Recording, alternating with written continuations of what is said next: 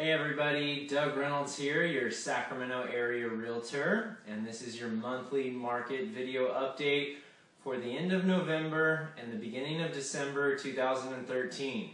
Well, it finally happened. The stats in October came out and it finally happened. The median finally went down. Not very much, but it finally went down a little bit.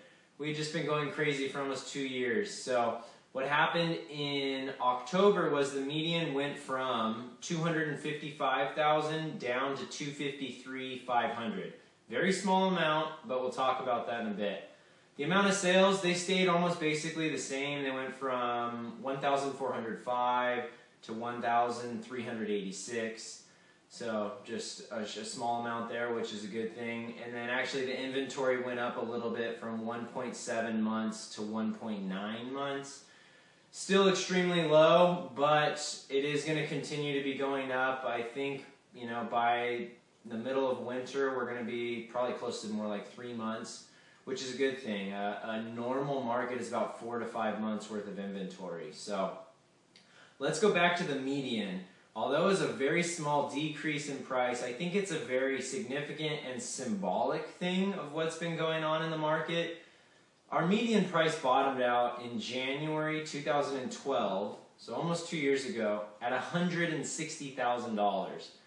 Since then, we've just been on this crazy seller's market for basically two years. You've been watching my videos, you know what's been going on. Um, and I think it's symbolic in the fact that I've been talking about what's been happening in the market the last few months since the beginning of June with interest rates, then investors were pulling back and more inventory was coming on and things like that. It took a few months for the stats to catch up with what was actually going on in the market. So I think it's symbolic to show what's been happening and the transition we've been going into as we're heading into the winter here with this just kind of being a more of a balanced market, the buyers have finally gained a little bit of power. So um, buyers out there, if you're still looking to buy, it is probably the best time to buy in the last two years in regards to amount of inventory that's out there for you to choose from and negotiating power and things like that. Um, so if you're a buyer, I'd say go and find something great this winter. It's going to be a great market for buyers this winter compared to what we've been seeing the last couple of years. If you're a seller out there, it's not all doom and gloom. Remember, the market has increased significantly in the last two years, so you've gained a lot of value in your property.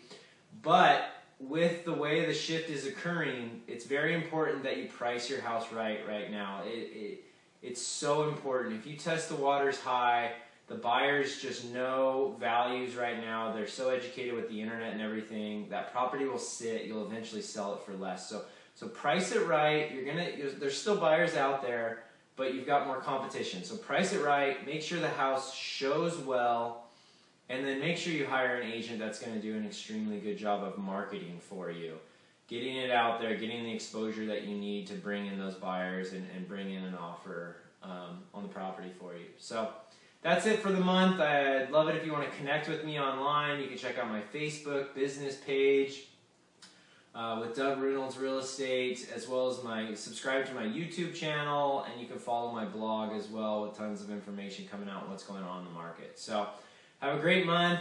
Have a happy Thanksgiving and clear skies.